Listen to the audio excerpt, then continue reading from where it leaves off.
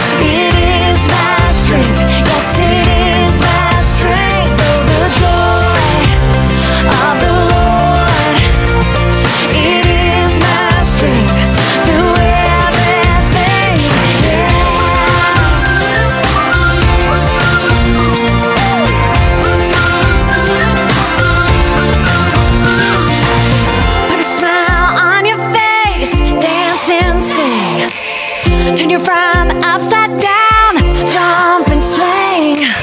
Pretend you're a superhero, saving the day.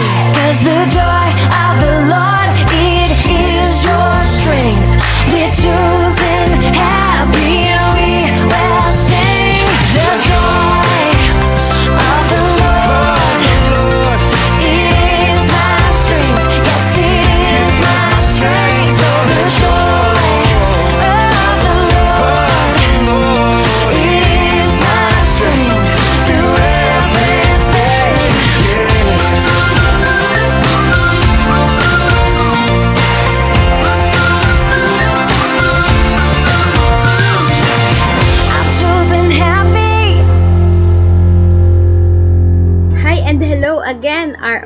Kids Marilao. Kumusta ang ating bakasyon kasama ang family? Are we happy? I believe every one of us had a fun and a great vacation with the family. Thanks be to God. We will be moving on to the next story which is the Book of Ruth. Alam nyo ba mga kids na lola ni King David si Ruth? Opo, tama ang inyong narinig, kay Ruth nagmula ang lahi ng mga hari ng Juda. Let us listen to the love story today at bago tayo mag-umpisa, tayo po muna ay manalangin. Aming Ama na nasa langit, salamat po sa lahat ng kaloob mo sa amin sa araw-araw. Nawa ay pagpalain mo kami, palagi ang bawat isa sa amin at ng isang malakas na pangangatawan at matibay na pananampalataya sa iyo. Salamat po Ama, ito po ang aming samot dalangin sa aming pangalan mo lamang po Jesus. Amen. Nang ang Israel ay pinamunuan ng mga hukom, nagkaroon ng tagutom sa buong bayan. Kaya may isang taga Bethlehem, Juda na sandali munang nanirahan sa Moab kasama ang kanyang asawa at dalawang anak na lalaki. Ito'y si Elimelech at si Noemi na kanyang asawa. Namatay si Elimelech at naiwan si Noemi. Nakapangasawa ang kanyang mga anak na lalaki ng mga taga Moab. Taga Moab, ito'y sina Orpa at Ruth.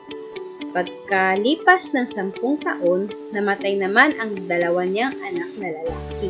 Kaya't si Noemi ay naiwang ulila sa asawa at mga anak.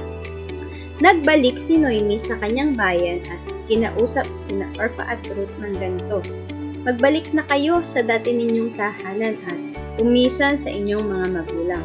Kung paano kayo naging mabuti sa mga yumao at sa akin, sana'y maging mabuti rin sa inyo si Yahweh.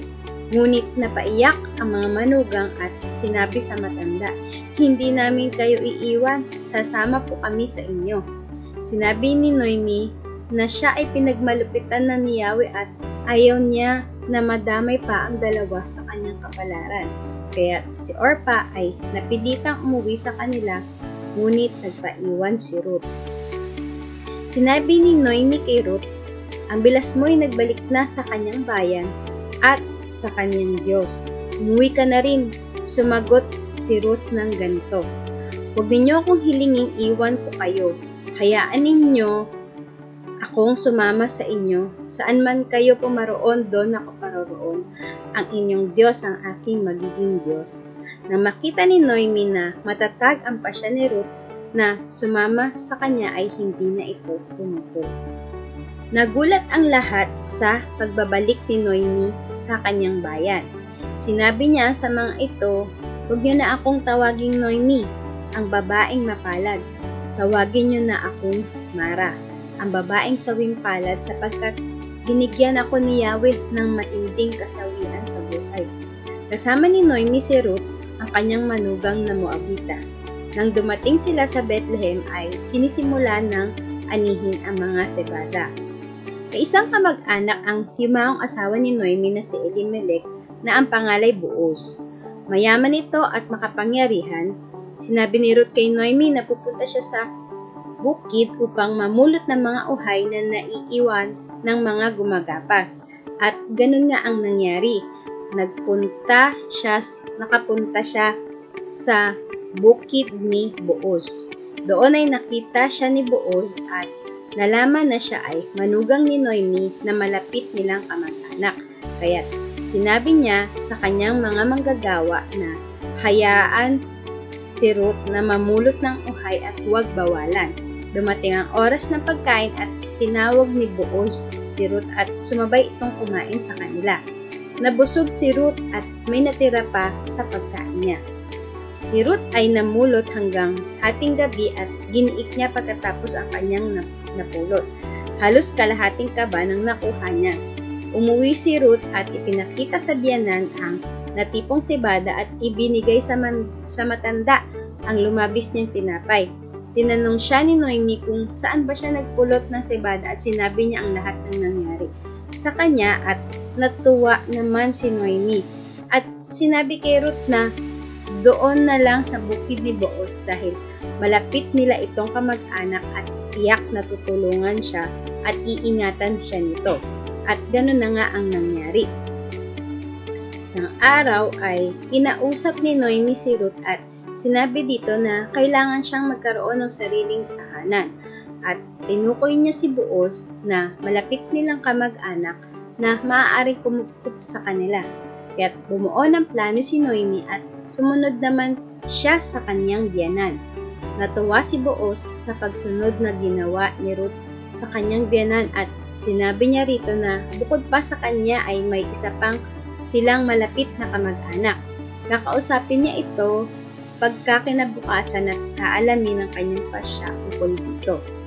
Kinausap nga ni Boaz ang kanyang kamag-anak at Nagpasya ito na ibigay kay Boaz ang karapatan at tungkulin para sa mga naiwan ng yumaong si Elimelech. Sa gayon, napangasawa ni Boaz si Ruth at inuwi sa kanyang sariling tahanan. Pinagkalooban sila ni Yahweh ng isang anak na lalaki at binati si Noemi ng mga kababaihan ng ganito. Purihin si Yahweh, binigyan ka niya sa araw na ito ng isang apo na kakalinga sa iyo. Maging tanyag nawa sa Israel ang bata. Maghatid nawa siya ng kaaliwan sa puso mo at maging gabay sa iyong katandaan. Ang mapagmahal mong manugang na nagsilang sa bata ay higit kaysa pitong anak na lalaki. Pinangalanan nila itong Obed. Si Obed ang ama ni Jess na ama naman ni David. Ito ang pagkakasunod-sunod ng angkan mula kay Fares hanggang kay David. Fares, Hezron, Ram, Aminadab, Naason, Salmon, Buoz, Obed, Jess, at si Haring David. Amen?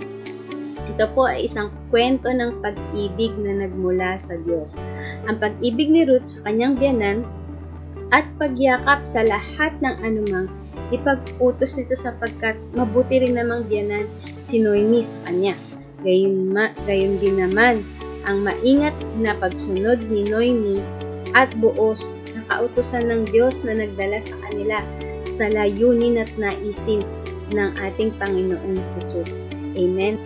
Napakahalaga talaga na tayo ay maingat na sumusunod sa ating Panginoon upang maranasan natin ang ganap ng pag na pagpapala ng Diyos sa atin. Ang ating memory verse ay Romans 08 For God work all things together for good to those who love Him and are called according to His purpose. Ano-ano ang ating lessons for the week? Number 1, ang Diyos ay laging mabuti.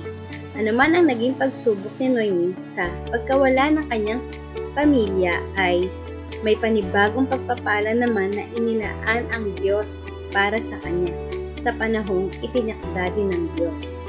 Number 2, ang Diyos ay puno ng pag-ibig.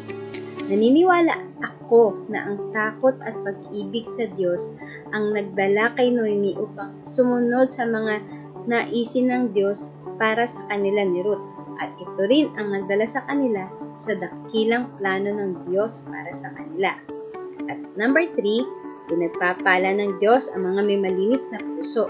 Mabuti ang puso ni Ruth para hindi niya iwanan ang kanyang biyanan at sumunod dito ay hindi madali.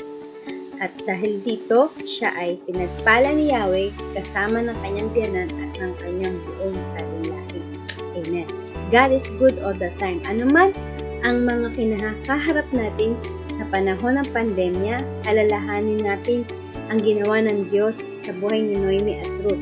Gagawa at gagawa ng paraan ng Diyos para tayo ay ayusin at muli niyang pagpalain. Amen. Hallelujah. Sige po, tayo po ay muling manalangin bilang pagtatapos. Dakilang Diyos Ama, kagaya ni Ruth at ni Noemi, kami po'y muli mong pagpalain at sa gitna ng pandemya, pandemyang ito, mahayag niyong kabutihan at kadakilaan sa bawat isa sa amin at sa mga taong nakapaligid sa amin. Maraming maraming salamat po Ama. Ito po ang aming samot dalangin sa tanging pangalan mo lamang po Jesus. Amen. Amen. It's activity time na naman po. Ito na po ang ating questions for the week. Number one, ano ang pangalan ng yumaong asawa ni Noemi? Number 2. Saan nakatira si Noemi? Number 3. Anong pangalan ng muling napangasawa ni Ruth? Amen. Ayan po. Again, maraming maraming salamat po sa lahat ng nanonood linggo-linggo. Pagpalain po tayong lahat ng Diyos at nawa ay marami po kayong natututunan na mga lessons every week at nai-guide kayo sa araw-araw na pamumuhay natin. Amen. Hanggang sa muli po. Bye-bye!